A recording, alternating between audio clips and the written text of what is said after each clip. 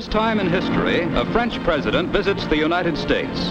On the liner Ile-de-France, President Vincent Auriol, accompanied by Mrs. Auriol and Foreign Minister Robert Schuman, arrives in New York, where he's greeted by Frederic Bartholdi's Statue of Liberty, given by France to her sister republic, the United States.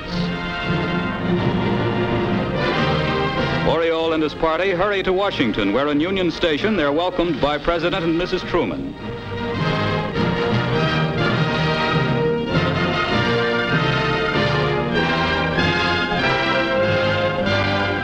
Ride through Washington, itself a symbol of French and American friendship, for it was designed by a French architect, takes the two presidents past a quarter of a million cheering Washingtonians.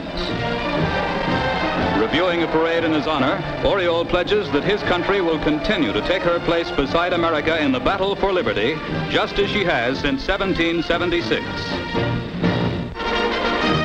In New York, ending his American visit, Auriol decorates Mayor Impellitteri and concludes with the traditional ceremonial kiss, which makes such a big hit with the photographers that they beg Monsieur Auriol for an encore. And the French president winds up his visit in a blaze of goodwill.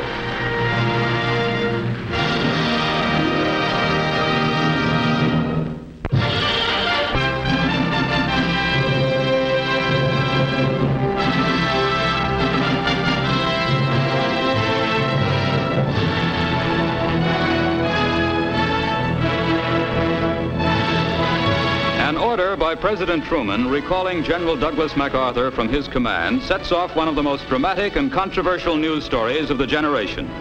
In Tokyo, thousands of Japanese flock to the Daiichi building, the Supreme Allied headquarters, to see the 71-year-old five-star general as he enters his headquarters for the last time.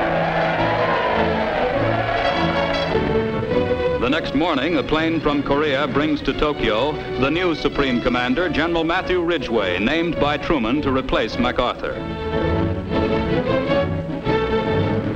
The changes in command keep Tokyo's Haneda Airport busy. Lieutenant General James A. Van Fleet arrives from Washington en route to Korea to succeed Ridgway as commander of the 8th Army. Now the recalled Supreme Commander arrives at the airport for his trip home after a farewell ride past a quarter of a million cheering Japanese. General and Mrs. MacArthur say goodbye to American and Japanese friends. Then in the General's plane, the Bataan head for the homeland they've not seen in 14 years. After a brief stopover in Hawaii, the Bataan brings the MacArthurs to a hero's homecoming in San Francisco. For the first time since 1935, MacArthur sets foot on the soil of the continental United States. The next morning, half a million San Franciscans hail the general as, accompanied by Mayor Robinson and Governor Warren, he goes on a two-hour tour of the city. Then MacArthur heads for Washington to keep his scheduled appointment before Congress. The next day, after a non-stop flight to Washington, MacArthur arrives at the Capitol, where he's welcomed by prolonged cheers from the joint meeting of Congress. In a dramatic and impassioned speech, MacArthur defends his Far East policies and then closes on a personal note. I am closing my 52 years of military service.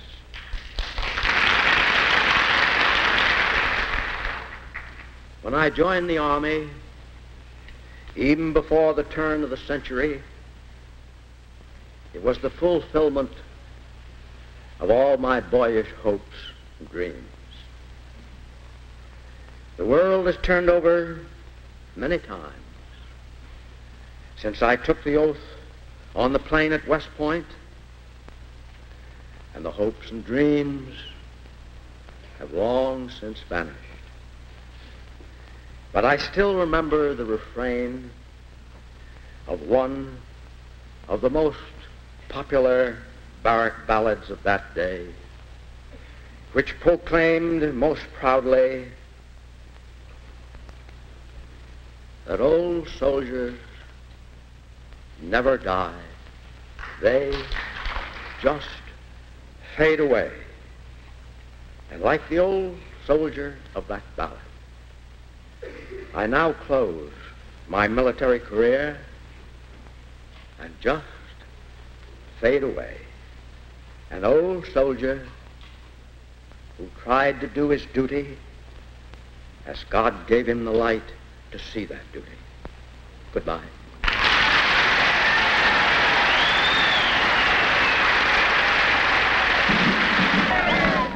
That afternoon, all Washington turns out to pay tribute to MacArthur, who heads the parade in a car with his wife, Jean Marie, and son, Arthur.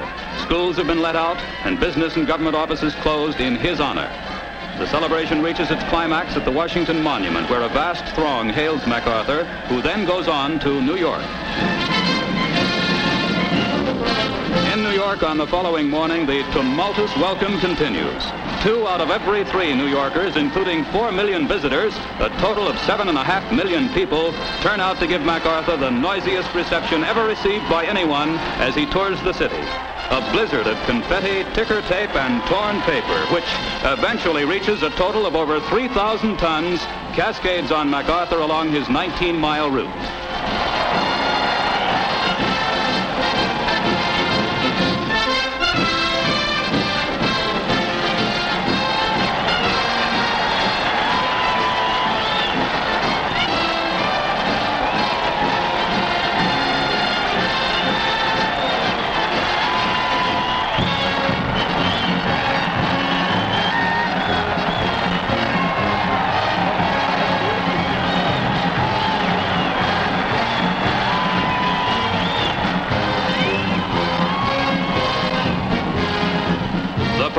Turns uptown along Fifth Avenue, where on each block an estimated 5,000 people are jammed shoulder to shoulder.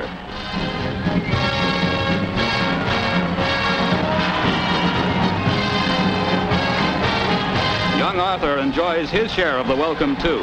Americans of all political opinions, differing though they may on issues raised by MacArthur's recall, join in giving an old soldier and a great one, General of the Army Douglas MacArthur, a hero's welcome to the United States.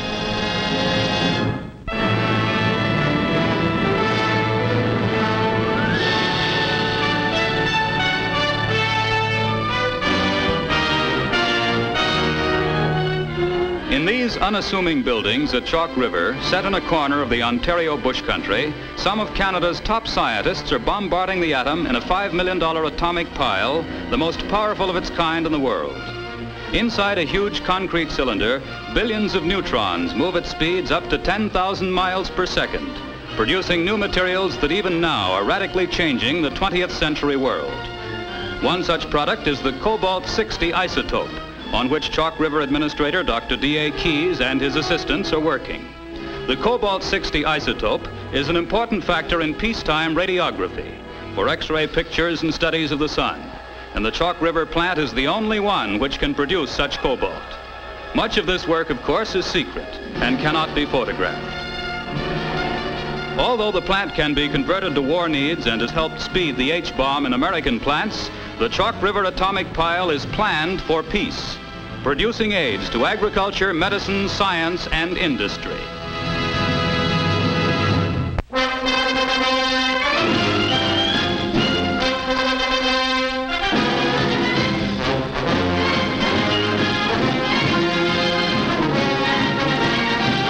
Spring is surely here when the circus comes to town. The Ringling Brothers open with a star-studded benefit for the Heart Fund. Fulfilling everybody's secret ambition, Jack Dempsey joins the clowns for a night. And now Lou Jacob presents a compressed preview of his 1958 model car, small enough to solve any city parking problem.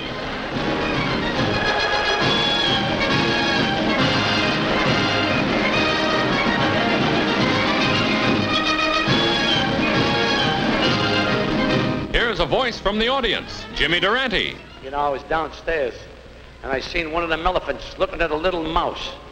And the elephant was saying to the mouse, look at the size of me and look at the size of you. Why, you're nothing but a wretched, insignificant little shrimp. The little mouse looked up at the elephant and said, listen, I've been sick. Let me take the pictures, come on. As the thrills come thick and fast, wire walking wonder Hubert Castle goes into his act on a taut steel thread.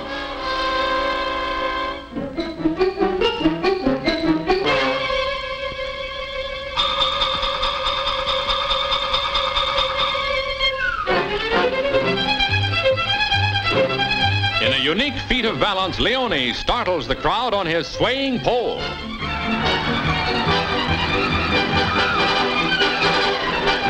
And Benito Del Oro takes to the air on a flying trapeze.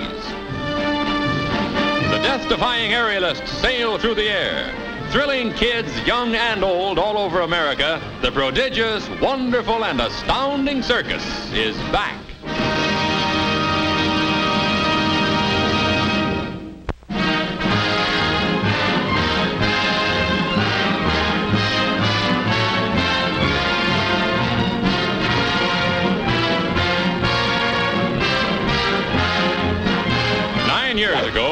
Ben Hogan, teeing off in the Masters tournament at Augusta, set his sights on one of professional golf's greatest prizes.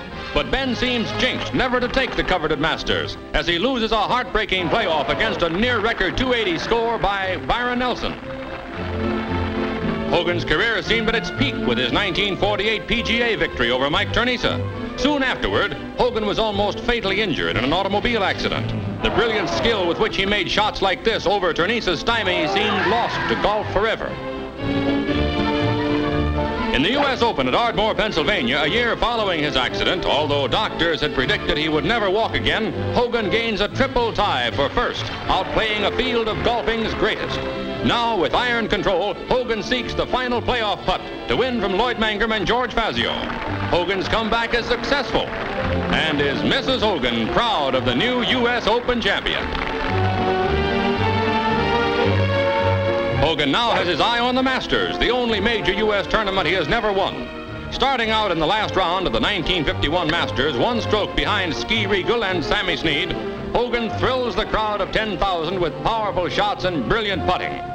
Meantime, Riegel has come in with a 282. The crowd is tense. Can Hogan beat Riegel? He has only to sink the next putt to win.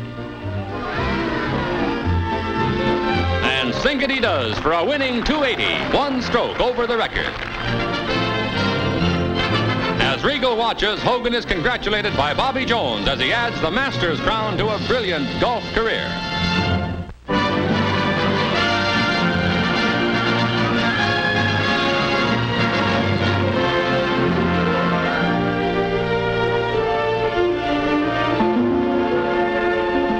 Philadelphia Zoo, oldest in the country, tries an experiment in its new birdhouse.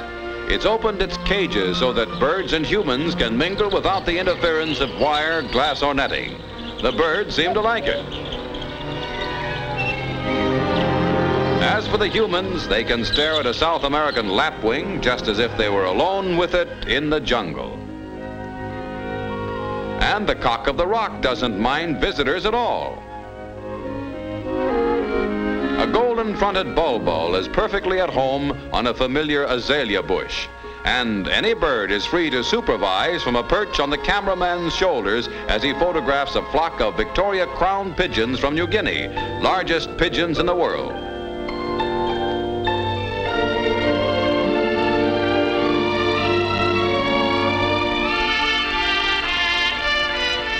This pair of rare Indian hornbills who have a seven-foot wing spread resemble the Brazilian toco toucans with their eight-inch beaks.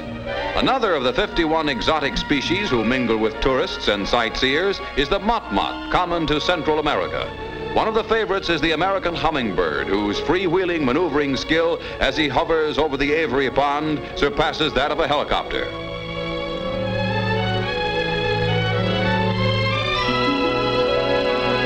Shorebirds, among them black-necked stilts and European oyster catchers, live in an authentic background of sand and driftwood.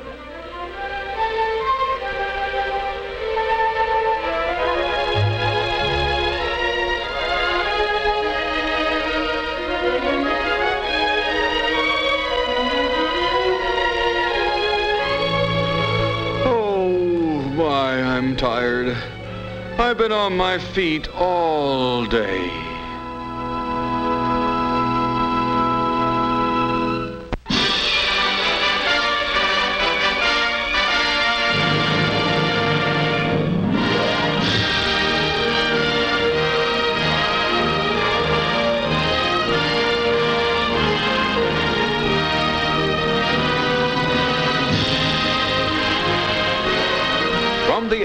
Lebanon, Connecticut, with its scattered white houses, hardly seems to have aged since the days of the Revolution. Its livestock in rock-walled pastures, its orderly barns, mark Lebanon, like many another American town, as a farming community. In some ways unchanged since the day Lebanon patriots left on foot to fight at Bunker Hill, Lebanon seems timeless. In other ways, the town is always growing with the restless energy of America. Much to its own surprise, Lebanon recently found itself the center of worldwide curiosity. For in the State Department's International Publications Division, artists and writers were at work on a pamphlet which in photographs and 51 foreign languages is telling people all over the world, even behind the Iron Curtain, about life in Lebanon, an American community in action. The Trumbull Library reaffirms Lebanon's connection with the past, a democratic past, founded, as America's fathers stated, on a belief in God, whether worshipped in a Baptist church, a simple synagogue, formerly a schoolhouse, whose rabbi is a Lebanon farmer, or a Catholic church built a few years ago in an historically Protestant area. In early times, Lebanon's religious life centered around the Congregational Meeting House, designed by a son of the famous Jonathan Trumbull, who was governor of Connecticut during the Revolution. From here, Governor Trumbull and his four sons participated in revolutionary activities from Boston to Valley Forge. A tunnel ran to the War Office, where with Washington, Jefferson, Franklin, Lafayette, and many others, they planned for America's freedom. With these democratic traditions forming a background of their lives, Lebanon's young people are conscious of their part in a world still fighting for freedom. With New England pride in craftsmanship, boys and girls alike learn to work with their hands. Such training is as much a part of education for their role in community life as geography or arithmetic or history. In their new elementary school, which replaces seven one-room buildings scattered throughout the countryside, the younger children of Lebanon are discovering the international counterpart of the traditional New England town meeting. Through a United Nations session in miniature, they can see the selfishness of one nation threaten the harmony and order of the democratic process and the security of other nations.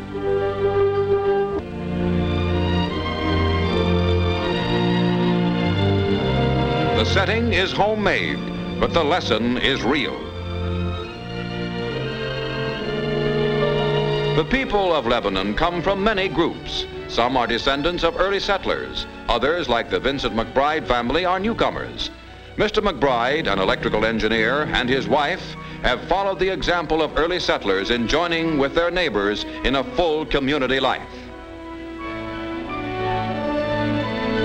To a world beset by anxiety, Lebanon, with its balance of tradition and progress, stands as an example of democratic life.